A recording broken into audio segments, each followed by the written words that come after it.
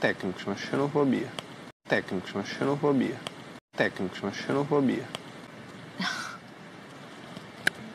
Pra mim é isso. Mas enfim. E Gil soltou o verbo e disse tudo o que conversou com a Sara, falando mal de Juliette na frente de Juliette, e o João também estava perto numa conversa entre eles.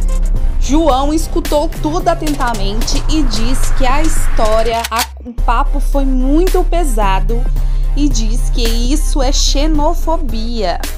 Juliette ficou tão assim abismada porque o Gil quebrou o, o silêncio e falou mesmo que ele e Sara metia lenha nela e contou tudo as histórias que eles falavam lá por trás nela e o João falou: "Caraca, muito pesado, muito pesado isso. Isso que vocês fizeram com a Juliette foi xenofobia".